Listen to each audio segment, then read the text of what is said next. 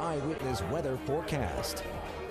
All right, welcome back, everyone. Good evening to you. I'm Chief Meteorologist Craig Flint. We are live at Babes Harbor Point uh, this evening for something really cool. So, uh, if you can sing and you want to give uh, the national anthem a shot, you come down here tonight.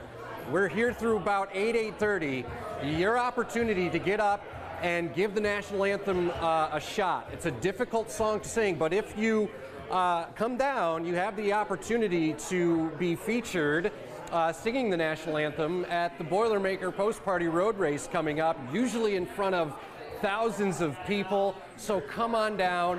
Why not? If I started singing, they might take me to the hospital. All right, let's talk about what's going on weather wise tonight. So, a lot of clouds still, some smokiness too uh, has built into uh, the region here. Temperatures right now are still cool in the low 60s. The dew point, though, has come way down in the 50s, so it's much, much more comfortable out there. Uh, and tonight it will be cooler, more comfortable. Lows dropping into the upper 50s. A couple sprinkles left over, but that's about the extent of it. And then tomorrow, some smoke early, but that will thin out, and skies will become partly to mostly sunny, comfortable humidity, warm a high near 80. So here's a look at uh, Doppler radar right now. And you can see that uh, low pressure that's been kind of languishing over us is now shifting away.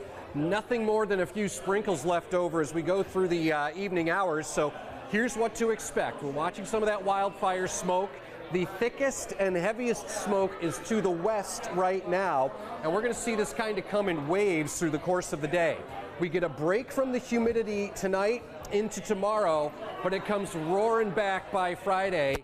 And so do rain chances. Now, like this past weekend, I don't think it's going to rain every hour all the time, but there will be some scattered storms developing as we go uh, into the weekend. Take a look here at the visible satellite imagery, and uh, what you can see here is uh, a little bit of what we call uh, that wildfire smoke, that kind of hazy look that you see right there to the sky. That's that plume of wildfire smoke that's continuing to pivot its way to the east.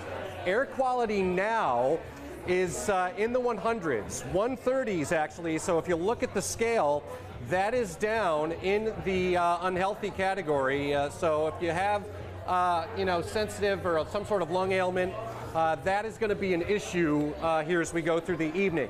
But you can see where the air quality is really worsening, especially to the south and west as that plume of smoke continues to roll east, uh, we will see our air quality be impacted.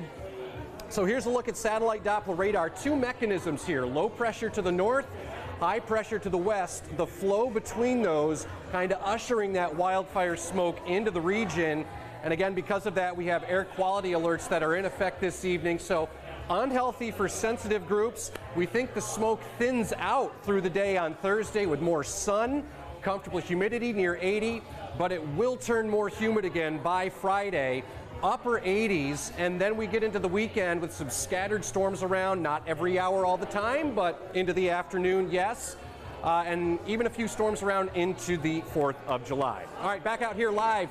Come on down to Babes Harbor Point, say hi, try your chance uh, at singing the national anthem. I'm meteorologist Craig Flint. Let's send it back to you, Jane, in the studio. All right, thanks, Craig. Let's take a look at what's coming up tonight on News Nation.